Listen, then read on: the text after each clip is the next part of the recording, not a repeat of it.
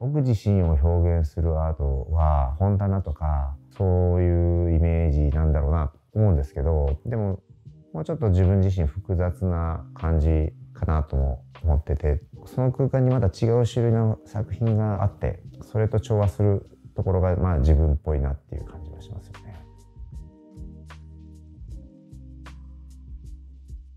白井和成です、まあ、複数の事業をやっている企業経営者です子供の時から何かものを作るだとか絵を描くとかって非常に好きだったのでそういう意味で言うと割と素直になんかアートをコレクションするっていうところに、まあ、入っていけたんだと、まあ、思ってます。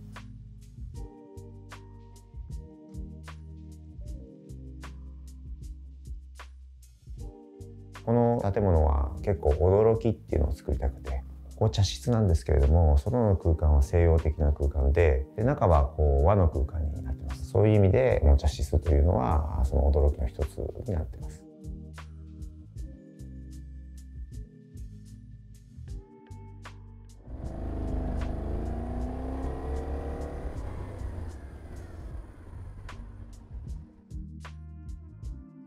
コレクションをしてそれを空間と合わせて表現する時に自分だけの空間を作りたいですしそのコレクションっていうのはすごく保守的でもすごく革新的な表現をしたいなと思うので、まあ、それに合うような作品選んでます。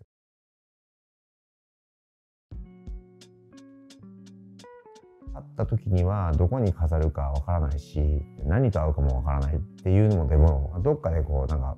ピッとこう合う時が来るっていうか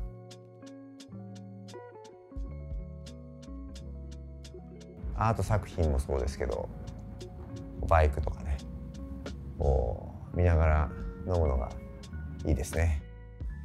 今 MotoGP って言われてるんですけど当時は GP500 っていう世界最高峰のレースがあってイタリアメーカーのカジワっていうのがそこに参戦してたんですね。最後の94年のジョン・コシンスキーっていうライダーが乗った車両ですね。特にまあバイクなんてのは割とシャイですから自分が思うようにその制作できるので、まあ、そういう意味では自分のその、まあ、創作意欲を刺激されるっていうか。ノーマルのパーツはもうフレームとエンジンしか残ってないんですけど世界選手権のパーツ全部組み込んでるので。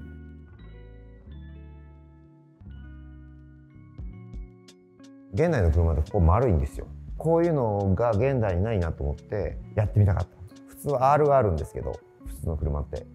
これはこう切ってあるってこととこのグリルにこのライトが入ってるっていうのが、まあ、昔の DBS ってやつのちょっとオマージュなんですけど車の当時のそのデザインの常識では考えられないデザインの仕方なんですよ。発表した時っていろんなことを言われるんですけど自分の思ったことやりたいことをプロのアーティストとかデザイナーがそれを超えるようなことを持ってきてくれるっていうのはすごく楽しいですよね。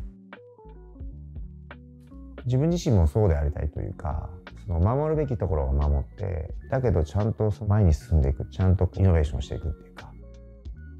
そういうのが好きだとは思いますね。うん